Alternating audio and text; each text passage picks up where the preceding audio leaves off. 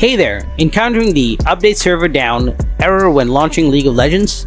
Hey everyone, welcome to my channel. Today I'll guide you through fixing this issue in just two straightforward steps. Let's jump right in. First, step 1. Ensure your computer's date, time, and time zone settings are correct. Start by opening settings, next click on time and language, then select date and time. Choose the correct time zone, now toggle on set time automatically. Finally, click sync now. Windows will update the time. Once done, close the window and proceed to the next step. Solution 2. Use an optimized DNS server. To do this, first open command prompt. If you can't find it, type CMD in the search bar and command prompt will appear. Click to open it. Now type ping 1111 and press enter. This will give you the minimum, maximum, and average ping for this DNS.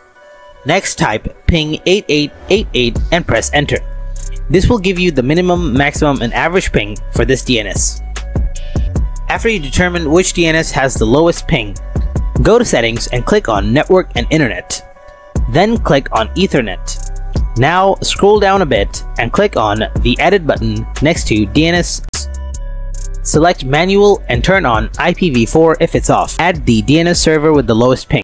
Now on the alternate DNS, type 1001.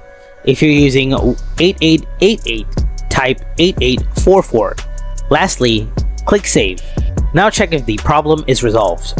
And there you have it. That's how you fix the update server down error in League of Legends. If you found this video helpful, then smash that like button and subscribe to the channel.